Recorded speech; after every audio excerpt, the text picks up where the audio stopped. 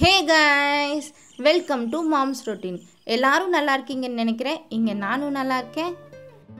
இந்த video monthly grocery items நான் எப்படி ஸ்டோர் பண்ணி ஆர்கனைஸ் பண்ணி வச்சுருக்கிறேன் அப்படிங்கிறது தான். ஒரு டூ டூ த்ரீ வீக்ஸாக கரெக்டாக இந்த இடத்த மெயின்டைன் பண்ணாமல் விட்டுட்டேன். அதான் இவ்வளோ அன்ஆர்கனைஸ்டாக இருக்குது எல்லா திங்ஸும் எடுத்துட்டு க்ளீன் பண்ணிவிட்டு திரும்ப அரேஞ்ச் பண்ணி வச்சுக்க போகிறேன் இந்த கீழ் ஷெல்ஃபில் மல்லிகை ஜாமான்லாம் பிளாஸ்டிக் பாக்ஸ் யூஸ் பண்ணி தான் ஸ்டோர் பண்ணி வச்சுருக்கேன். இந்த பிளாஸ்டிக் பாக்ஸ்லாம் வாஷ் பண்ணணும். ஸோ அதுக்குள்ளே இருக்க ஐட்டம்ஸ்லாம் எடுத்து வெளியில் வச்சுட்டு எம்டி பண்ணிக்கிறேன். ரொம்ப ஃபேன்சி ஐட்டம்ஸ் ஆர்கனைசர்லாம் யூஸ் பண்ணி நான் அரேஞ்ச் பண்ணி வைக்கல. வீட்டில் நம்ம நார்மலாக யூஸ் பண்ணுற பிளாஸ்டிக் பாக்ஸ் யூஸ் பண்ணி தான் நான் இப்படி அரேஞ்ச் பண்ணி வச்சுருக்கேன். வீட்டுக்கு யூஸ் பண்ணுற மல்லிகை ஜாமான் எல்லாம் எல்லா டப்பாலையும் தனித்தனியாக பிரித்து போட்டு வச்சுருப்பேன். தாளிக்கிற ஐட்டம் தனியாக பருப்பு வகைகள்லாம் தனியாக பயிர் வகைகள்லாம் தனியாக அந்த மாதிரி. பிளாஸ்டிக் பாக்ஸ் எல்லாமே எம்டி பண்ணி கழுவி வச்சுட்டேன். இதெல்லாம் காயறதுக்கு கொஞ்சம் டைம் எடுக்கும். அதுக்குள்ளே நம்ம ஃபஸ்ட்டு ஷெல்ஃபை போய் அரேஞ்ச் பண்ணிக்கலாம்.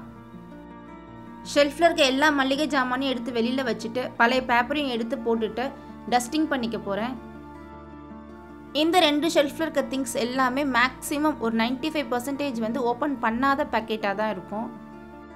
எல்லாமே எடுத்து வெளில வச்சுட்டேன். எங்கள் வீட்டில் பார்த்தீங்கன்னா இந்த மழை காலத்துலேயும் குளிர்காலத்துலேயும் டைல்ஸ் போடாத தரையிலையும் செவுர்லேயும் ஈரப்பதமாகவே இருக்கும். அதனால தான் பார்த்தீங்கன்னா செவுர்லாம் ஒரே வாட்டர் பேச்சஸாக இருக்குது ஆல்ரெடி இந்த பழைய பேப்பரை எடுத்துட்டு டஸ்டிங் பண்ணிவிட்டு ஒரு ஈர துணியால் தொடச்சி விட்டுட்டேன். அப்புறம் ட்ரை கிளாத் யூஸ் பண்ணியும் தொடச்சி விட்டுட்டேன். ஸோ நமக்கு சீக்கிரமாகவே காஞ்சிடும் ஷெல்ஃபு நம்ம திங்ஸ்லாம் அரேஞ்ச் பண்ணி வச்சுக்கலாம். அதே போல் கீழே உள்ள ஷெல்ஃபில் இருக்க திங்ஸையும் எடுத்துட்டு க்ளீன் பண்ணிக்க போகிறேன் இந்த இடம் பார்த்திங்கன்னா ஷெல்ஃப்க்கு உள்ள அப்படிங்கிறதுனால நாங்கள் டைல்ஸ் ஒட்டாமல் விட்டுட்டோம். இங்கே டைல்ஸ் ஒட்டாதனால மழை காலத்தில் தர ஈரப்பதமாகவே இருக்குது ஸோ அதனால தான் இங்கே உள்ள திங்ஸ் எல்லாமே பிளாஸ்டிக் பாக்ஸ் யூஸ் பண்ணி ஸ்டோர் பண்ணி வச்சுருக்கேன். ரெண்டு ஷெல்ஃபையும் நல்லா டஸ்டிங் பண்ணி தொடச்சி விட்டு நல்லா காஞ்சதுக்கப்புறம் பேப்பர் விரித்து வச்சுக்கிட்டேன். இப்போ திங்ஸ் எல்லாம் அரேஞ்ச் பண்ணிக்க போகிறேன் இந்த ரெண்டு ஷெல்ஃப்லையுமே மல்லிகை ஜாமான் நான் குரூப் பண்ணி தான் அரேஞ்ச் பண்ணி வைப்பேன். எப்படின்னா பருப்பு ஐட்டம்ஸ் தனியாக சர்க்கரை தனியாக ரவை சேமியா அந்த ஐட்டம்ஸ்லாம் தனியாக பயிர் வகைகள்லாம் தனியாக அந்த மாதிரி. அதே போல் தான் இப்பயும் அடுக்கி வச்சிட்ருக்கேன்.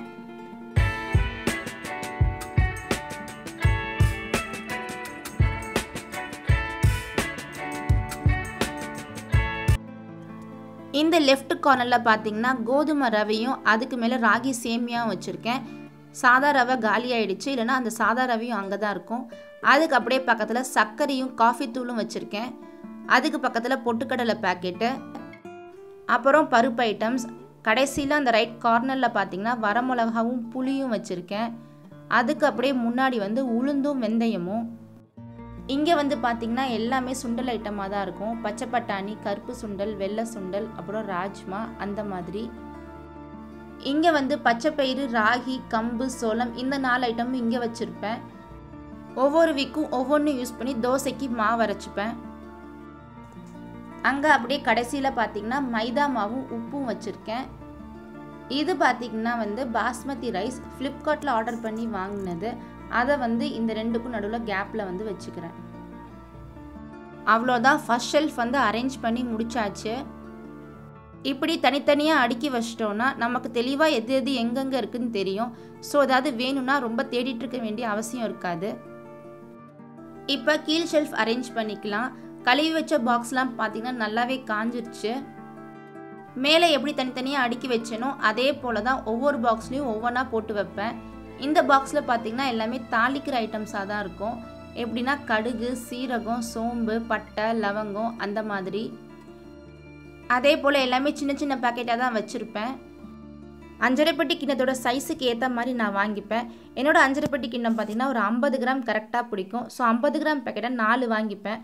ஒன்று பிரித்து கொட்டினேன்னா அந்த கிண்ணம் கரெக்டாக இருக்கும். அது காலியானதும் இன்னொரு பேக்கெட் எடுத்துப்பேன். ஸோ நமக்கு ஓப்பன் பண்ண பேக்கெட் கிளிப் பண்ணி வைக்கணும் அப்படின்னு அவசியம் இல்லாமல் போயிடும்.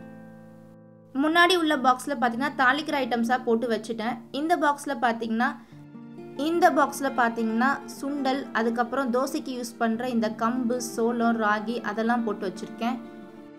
இதுவுமே நான் கா கிலோ பேக்கெட் அந்த மாதிரி தான் வாங்கிப்பேன். ஒரு டைம் தோசைக்கு ஊற போடுறதுக்கு அந்த ஒரு பேக்கெட் எடுத்தேன்னா அதுவே எனக்கு கரெக்டாக இருக்கும். கடையில் வாங்கிட்டு வந்த பேக்கெட்டோட வச்சோன்னா பெருசாக வந்து எறும்போ பூச்சியோ வராது. நம்ம ஒருவேளை ஓப்பன் பண்ணி நம்ம கிளிப் பண்ணி வச்சோன்னா எறும்பு வரத்துக்கு நிறைய சான்சஸ் இருக்குது அதனால தான் நான் சின்ன சின்ன பேக்கெட்டாக வாங்கிக்கிறேன். ஒன்ஸ் பிரித்தேன்னா அதை அப்பயே யூஸ் பண்ணிவிடுவேன் நான் ஃபாலோ பண்ணுற இந்த டிப்ஸ்லாம் உங்களுக்கும் யூஸ்ஃபுல்லாக இருக்கும்னு நினைக்கிறேன். இந்த பாக்ஸில் வெல்லமும் அவலும் போட்டு வச்சுருக்கேன். இந்த ப்ளூ கலர் வழியில் பார்த்தீங்கன்னா ஓப்பன் பண்ண பேக்கெட்டை கிளிக் பண்ணி ஸ்டோர் பண்ணி வச்சுக்கிறேன். ஒரு சில ஐட்டம்ஸ்லாம் ஃப்ளிப்கார்ட்லேயும் டிமார்ட்லேயும் பல்காக வாங்கினோன்னா நல்ல டிஸ்கவுண்ட் இருக்கும். அந்த மாதிரியான ஐட்டம்ஸ் மட்டும் பெரிய பேக்கெட்டாக வாங்கி வச்சுப்பேன். அதே போல் எங்கள் வீட்டில் உப்பு ஜாடி வந்து கொஞ்சம் சின்னது தான் ஸோ தேவையானதை அதில் போட்டுட்டு மிச்சத்தை வந்து இந்த மாதிரி கிளிப் பண்ணி இதில் ஸ்டோர் பண்ணி வச்சுக்கிறேன்.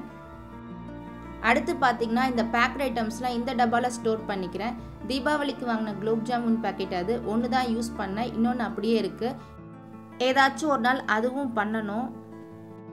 எல்லா திங்ஸும் ஒவ்வொரு பாக்ஸில் போட்டு வச்சுட்டு அதை எடுத்து கீழ் ஷெல்ஃபில் அரேஞ்ச் பண்ணிக்கலாம். இந்த ரைட் கார்னர்லாம் அந்த ரெண்டு டப்பா வச்சுட்டு அதுக்கு முன்னாடி இருக்க சின்ன ஸ்பேஸில் பாத்திரம் கழுவுற சோப் வச்சுக்கிறேன். அதுக்கு பக்கத்தில் பார்த்திங்கன்னா இந்த பெரிய டப்பாவையும் வச்சுட்டேன்.